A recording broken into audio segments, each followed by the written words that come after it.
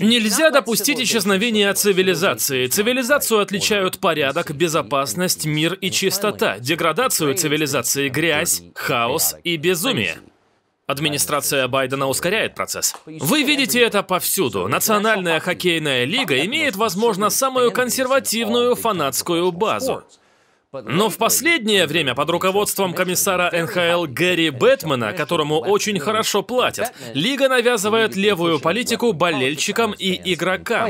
НХЛ даже пыталась провести конференцию во Флориде только для меньшинств. Иными словами, когда белые мужчины играют в хоккей, это плохо. Губернатор Десантис помешал этому, потому что это очевидный расизм и безумие. Но на днях НХЛ провела нечто под названием «Вечер Прайд» в Филадельфии. Игрокам сказали, приказали надеть свитера цвета радуги в знак поддержки гендерного культа. Но один игрок отказался это сделать. Иван Проворов, защитник Филадельфии Флайерс. Репортеры были глубоко оскорблены. «Ты должен надеть свитер! Почему ты не надел свитер? Все надели свитера!» Вот что он сказал. Я уважаю всех, я уважаю выбор каждого. Мой выбор остаться верным себе и своей религии. Это все. Какова ваша религия? Русское православие. Герой.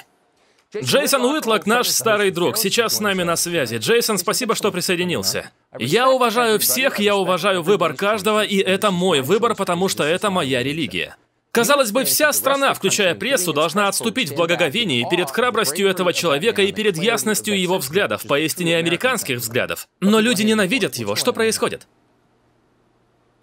Ну, можно было также ожидать, что больше американских атлетов, рожденных и выращенных в христианстве, займут ту же позицию, что и этот русский парень. Но мы трусы. И, и послушайте, трудно винить в этом НХЛ. Вся корпоративная Америка навязывает свою волю спортивным лигам. Вся корпоративная Америка уверовала в многообразие, инклюзивность и равенство, или как бы это там ни называлось. Так что они, корпоративная Америка, навязывают свою политику многообразия, равенства и инклюзивности. И сейчас они навязывают это спортивному миру. Я полагаю, не только в Национальной хоккейной лиге, в НФЛ, в главной лиге бейсбола, в НБА. Если кто-то говорит вам, эй, у нас вечер прайд, и нам все равно, каковы ваши религиозные ценности, наденьте эту футболку, поддержите это. Они все дружно это сделают, потому что все они рабы корпоративной Америки. И таким образом у нас, левые, осознали, что один институт, одна мощная сила в поп-культуре, которая прививает и укрепляет консервативные ценности, это спортивный мир.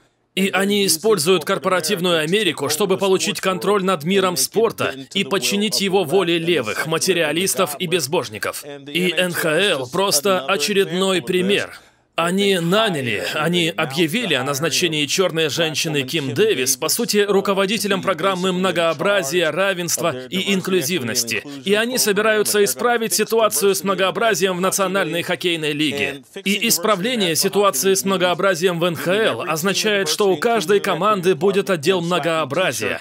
И что на игроков будут напяливать футболки, заставляя их поддерживать повестку ЛГБТ, повестку БЛМ и любую повестку, направленную против традиционных традиционных американских ценностей. Самое печальное, что иностранец сделал это за нас. Много американцев все еще играют в хоккей. Немыслимо, но ни один из них не проронил ни единого слова. Где их самоуважение? Такер, здесь все предельно ясно. БЛМ — часть движения ЛГБТ, часть марксистского движения.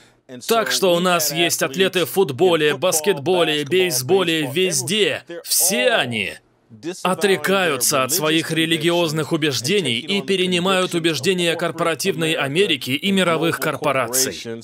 Они рабы доллара, они поклоняются доллару. Они поклоняются популярности и своему влиянию. У нас нет религиозных убеждений, у нас нет мужчин, достаточно отважных, чтобы отстаивать свои религиозные убеждения, за исключением этого русского парня. Это унизительно для нас, американцев. Да. Это многое говорит нам о нашей внешней политике. Джейсон Уитла, как всегда, рад был тебя видеть. Спасибо. Спасибо тебе.